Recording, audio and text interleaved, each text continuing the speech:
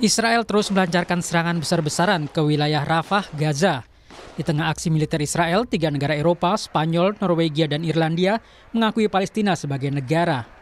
Total sudah 146 negara yang mengakui kedaulatan Palestina. Perdana Menteri Spanyol mengatakan pengakuan terhadap negara Palestina akan berkontribusi bagi perdamaian di Timur Tengah. Que tras haber consensuado la decisión entre los dos partidos que formamos el gobierno de coalición progresista, Sementara dukungan Norwegia merujuk pada rencana solusi dua negara yang ingin melihat Israel dan Palestina hidup berdampingan secara damai. Så støtter Norge opp om den arabiske fredsplanen som tunge aktører i regionen har arbeidet med siden 7. oktober. Perdana Menteri Irlandia Simon Harris menyebut akan ada sejumlah negara yang mengikuti langkah Irlandia, Norwegia, dan Spanyol dalam beberapa pekan ke depan. I've spoken with a number of other leaders and counterparts, and I'm confident that further countries will join us in taking this important step in the coming weeks. Pengumuman ini membuat Israel berang. Perdana Menteri Israel Benjamin Netanyahu menyebut tiga negara itu mendukung terorisme. הכוונה של מספר מדינות באירופה להכיר במדינה פלסטינית היא פרס לטרור. Behold, its military offensive And any other action in the Rafah governorate which may inflict on the Palestinian group in Gaza conditions of life that could bring about its physical destruction in whole or in part. Sebelumnya, Mahkamah Kriminal Internasional atau ICC mengajukan penangkapan terhadap Perdana Menteri Israel Netanyahu yang dinyatakan melakukan kejahatan perang dan kemanusiaan. Tiga negara di Barat, Spanyol, Norwegia, dan Irlandia mengakui Palestina sebagai negara berdaulat. Langkah ini dinilai Israel sebagai dukungan terhadap terorisme.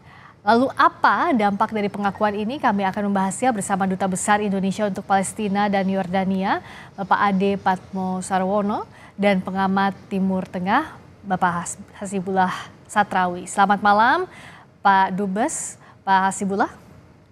Selamat malam, Mbak Frista, dan selamat malam, Pak Dubes. Uh, selamat malam di Jakarta, uh, Mbak Friska dan Pak Hasibullah. Uh, selamat sore dari Aman. Selamat sore waktu aman Pak Dubes. Nah bicara soal pengakuan dari uh, Spanyol, Norwegia, dan Irlandia sebagai perjuangan Palestina ini seberapa berdampakkah menurut Bapak?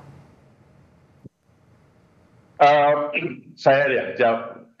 Uh, menurut hemat saya ini suatu kemenangan moral bagi uh, Palestina ya. Uh, walaupun pengumuman resminya baru nanti tanggal 28 Mei, tapi uh, mereka sudah uh, tiga negara tersebut, Irlandia, Norway, uh, dan Spanyol sudah uh, memberikan indikasi positif bahwa mereka akan mengakui uh, negara Palestina. Ini harapannya uh, semakin banyak negara uh, bisa mengakui uh, negara Palestina, dan sehingga nantinya mendorong upaya-upaya uh, atau langkah-langkah untuk dimulainya kembali uh, suatu proses perdamaian antara uh, Palestina dan Israel. Hmm.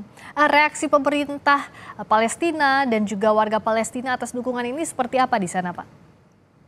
Kalau dari pemerintah Palestina 93 negara anggota PBB, jadi ini uh, di Rafah dan juga bagaimana harapannya agar ini bisa membawa ke two state solution sebagai solusi perdamaian yang sampai sekarang belum tercapai? Kalau kondisi di Gaza itu khususnya di Rafah masih sangat-sangat memprihatinkan uh, agresi Israel terus melakukan serangan di beberapa tempat di Rafah uh, dan walaupun uh, serangan ini sifatnya secara bertahap tapi niatnya memang ingin menguasai Rafah sesuatu jalan yang panjang tapi ya. mudah-mudahan ini membawa uh, uh, semangat ya. atau tambahan moral bagi uh, Palestina. Ya, baik. Itu yang kita harapkan. Semoga jalan panjang ini segera berbuah hasil karena sudah jauh dari nilai kemanusiaan. Pak Hasibullah, tapi singkat saja. Ya, saya ada dua menurut saya yang harus ini disampaikan. Yang pertama, ini harus dijadikan momentum oleh masyarakat internasional, terutama kuartet perdamaian atau atau pihak lain untuk bagaimana menciptakan dorongan dan langkah lebih nyata ya. sehingga perdamaian bisa terwujud. Dan yang kedua, ini termasuk di Indonesia, mm -hmm. untuk bagaimana para pihak termasuk negara Arab merekonsiliasi di antara faksi-faksi ya. Palestina.